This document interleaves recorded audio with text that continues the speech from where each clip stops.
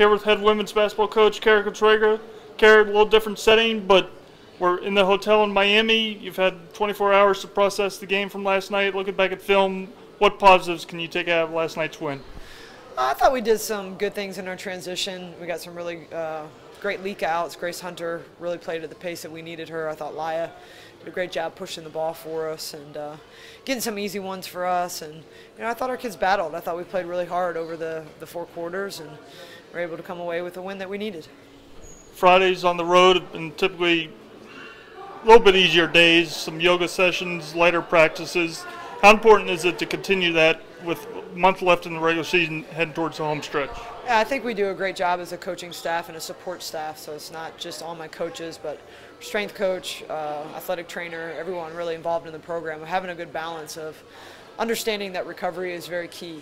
And uh, you know, certainly any opportunity to be on the practice court as a coach, you want to use that to try to get better and obviously prepare for our game. But um, our team needs to recover as well. And so Ryan Nozak, my uh, strength and conditioning coach, does an incredible job with yoga on these Fridays, just kind of getting our, our players loose and helping them feel better. And and then I think, you know, we, again, we do a good job just being focused on what we need to get done and getting in the gym and trying to get out at the same time uh, so that we can be hopefully fresh for Saturday games.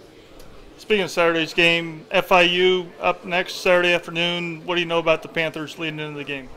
Well, I think uh, you know they're a team under a new coach, and uh, they have some really great moments where you watch them and, and know that they are improving and getting better as a basketball team. I think um, you know they execute their their stuff really well. They're great off the ball screen and, and make great reads and uh, are able to get downhill drives and uh, run a lot of different things. So uh, on a one-day prep, it's certainly a hard turnaround as, as it normally is. Um, so, you know, a lot of what we focus on today is just us being better at certain things. I mean, we've got to play fundamental defense, uh, be able to pressure the ball, and understand and know personnel. And then offensively, we have to continue to to get better and kind of get out of this three-game streak that we've been in. Where we haven't taken the best shots that we've taken needed to take.